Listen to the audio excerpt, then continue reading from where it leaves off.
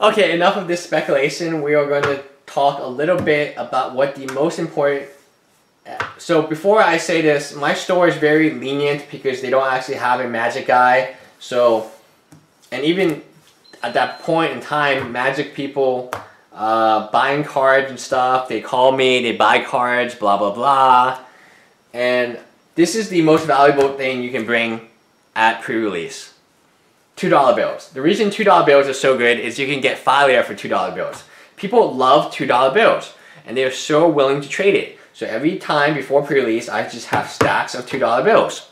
And I bring, you know, one stack to pre-release and another stack to another pre-release, and off they go.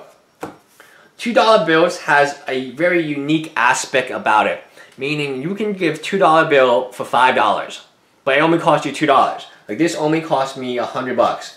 It didn't cost me like 101 bucks, it didn't cost me 200 bucks. Oh, yeah, because it's 100, so there are 50 of them a piece.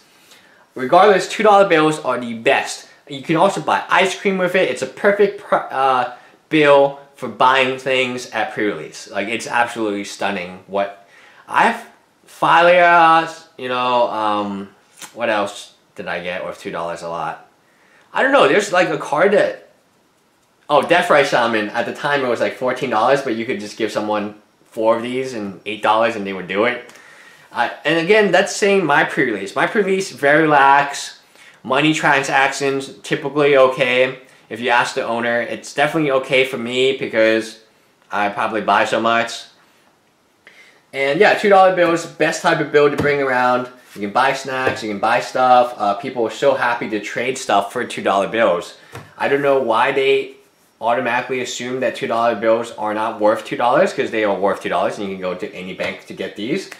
But one of my uh, trade secrets, so in Houston, if people have $2 bills, it's probably because I went to the bank to get them and they are Magic the Gathering players, FYI. Bye guys.